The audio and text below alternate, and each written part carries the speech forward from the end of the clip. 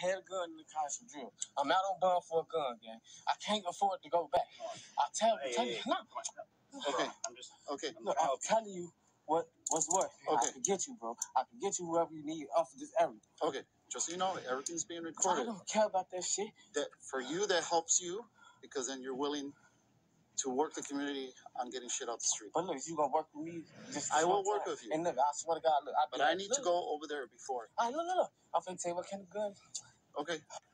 Be 100 with me. If I'm going to jail, or is it- or can I help you out now to get out? But I can't If, to. if you help us out, Secretary, I'm gonna thank you with the it, phone while it has to that. be in the station. It cannot be out here. Bro, how can I get? I understand. I gotta give procedure Yeah. and everything. But bro, like we could do that shit later. Like if I go in right now, they don't know something. I went to jail and I'm on- out on bond for a pipe. I can't even get the car out, bro. It's stuck. Fuck that car, bro. For real, bro. Oh my. right, hang on. The car's here. Hang on. I'm gonna keep it real with you.